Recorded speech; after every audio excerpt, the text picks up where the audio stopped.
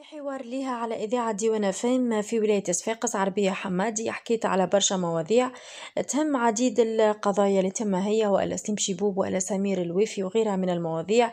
لكن زادة حكيت على عايشة عطية والأفير اللي أعلنت وقتها عايشة عطية إنها حامل ومن بعد تبين اللي الحمل هذا زائف.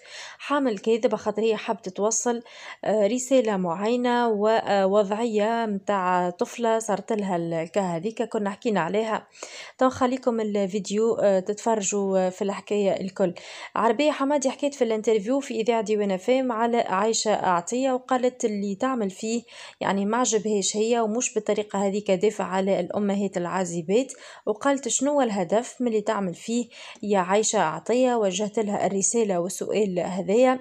وحبت تقول عربية حمادي اللي عايشة عطيه ما عرفتش كيفاش توصل الميساج اللي حابه توصله بالنسبة للي كان يصيروا هذوكم والا للامهات العازبات والميساج ما وصلش بالگدا دايور برشا ناس زاده مش كان عربية حمادي قالوا اللي آه، ما همش مصدقين معناها إنه عايشة عطية حبت توصل الميساج هذاك وقالوا اللي عايشة هي حبت تعمل ال buzz لا أكثر ولا أقل وحتى ظهورها مع نوفل الورتاني في قناة التاسعة.